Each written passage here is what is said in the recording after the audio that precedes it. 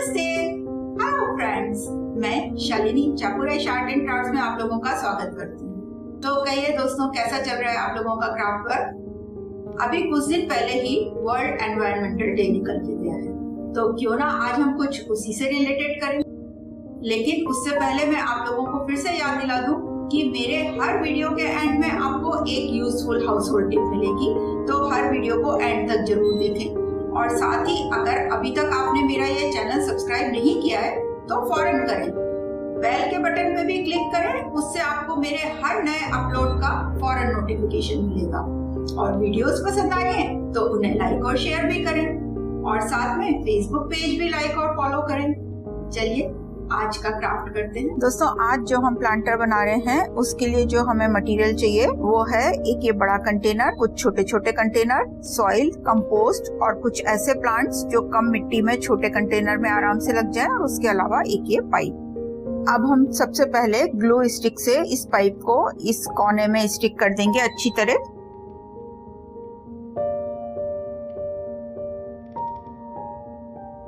अब जो कंटेनर हमें इस पाइप पे लगाना है, उसके सेंटर में हम इस पाइप के बराबर एक सर्कल कट कर लेंगे।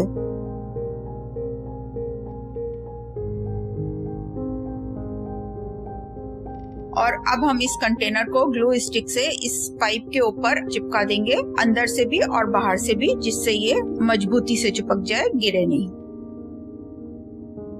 अब हम ये नीचे वाले बड़े कंटेनर में सॉइल भर देंगे। और इन सारे कंटेनर्स में भी हम थोड़ी थोड़ी सॉइल भर देंगे।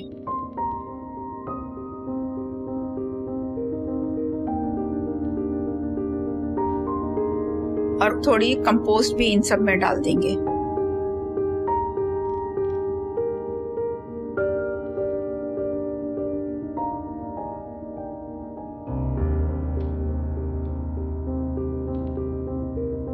और अब इन सब कंटेनर्स को हम इस बड़े कंटेनर में अरेंज करेंगे।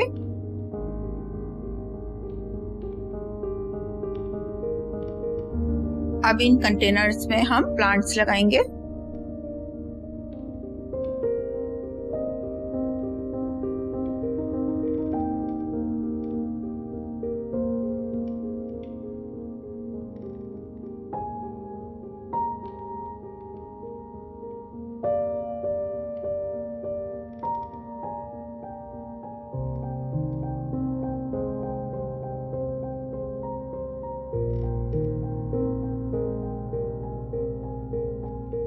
दोस्तों, अब ये ऊपर वाला कंटेनर भी ड्राई हो गया है। अब हम इसमें भी मिट्टी भर के प्लांट लगाएँगे और इसमें हम ऐसे प्लांट लगाएँगे जो नीचे की तरफ़ लटकते हुए हों। लेकिन वो ज़्यादा हैवी नहीं होने चाहिए।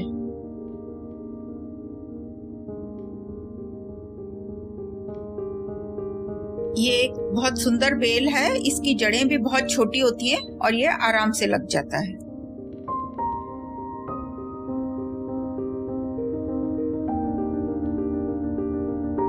और फिर हम सब में थोड़ा थोड़ा पानी डाल देंगे। और फिर नीचे बड़े वाले कंटेनर में हम डेकोरेशन के हिसाब से कुछ पेबल्स रख देंगे सीप शंख रख सकते हैं, कोई एनिमल रख सकते हैं, आप अपनी चॉइस का कुछ भी रख सकते हैं। अभी ऊपर वाले प्लांट में थोड़ी हम मिट्टी और भर देंगे, जिससे इसकी जड़ें अच्छे से दब जाएँगी।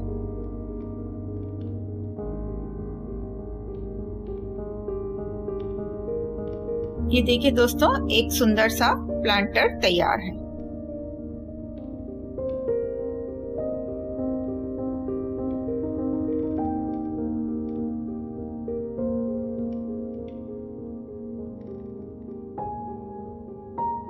देखा दोस्तों आपने कि ये वेस्ट डिस्पोजेबल कंटेनर को हमने रीयूज करके कितना सुंदर प्लांटर बना लिया और इसको आप अलग अलग साइज़ और शेप के बना के घर के अलग अलग कोनों में रख सकते हैं। घर के अंदर बैठ के भी आप ग्रीनरी और गार्डन का मज़ा ले सकते हैं। तो अब नंबर आता है आज की टिप का।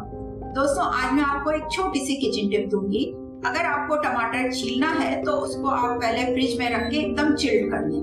और उसके बाद उसको निकाल के डायरेक्ट बॉइल वाटर में डाल दें और दो मिनट आप उसको बॉइल होने दें। बस दो ही मिनट आप उसको उसमें रखिए, वरना वो कुक हो जाएँगे। हमको कुक नहीं करना है। और वो दो मिनट में ही उनका छिलका फट जाएगा और वो आराम से फिर छिल जाता है। करके देखिए। अब हम मिलेंगे नेक्स्ट एपिसोड में एक बिल्कुल नई वैरायटी के साथ। तब तक के लिए नमस्ते। Bye like share subscribe